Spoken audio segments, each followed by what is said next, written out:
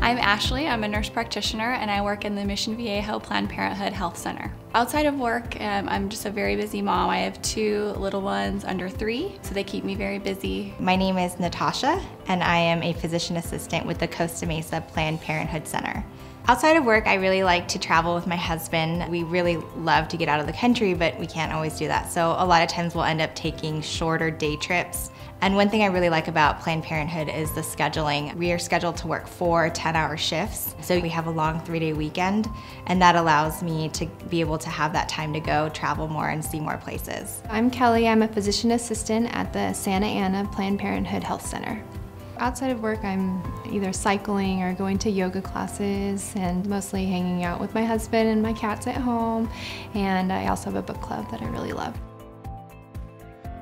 A typical morning when I get in, um, usually there's a patient that's ready to be seen within about 15 minutes, um, but it does give us time to go through with the medical assistant and the manager. We do a team huddle where we go over the patients that we have scheduled for the day and I can go through with, especially with my medical assistant and tell them, oh, I know this patient, we're gonna need you to do this ahead of time just to help us so that we can go, you know, as fast as we can. And then if there's any spare time after that, we have a little bit of time to go over labs and documents, patient phone calls. But usually we jump right into seeing patients. Midday can be a little hectic for our health centers. It's usually when we see most of our patient volume. So it's really important that at that point of the day we all come together as a team, which we usually do really well. Usually that entails communicating with the MAs, who's gonna go to lunch first, who's gonna take over. At the very end of the day, our last hour of the day, um, we're finishing up with our last few patients. If we have any time to do, you know, phone calls, we call our patients back, we make sure all, all our prescriptions got sent. We work more like a team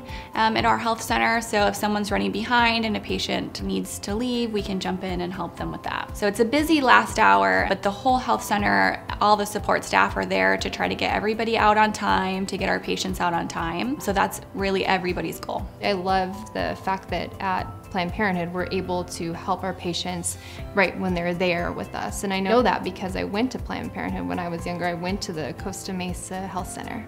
I felt like it was a safe place for me to go to get my birth control and I felt like it would be a safe place for me to work. So as soon as I graduated, I wanted to work for Planned Parenthood. I feel really happy to be so supported by case managers who go through the labs and help result the negative ones.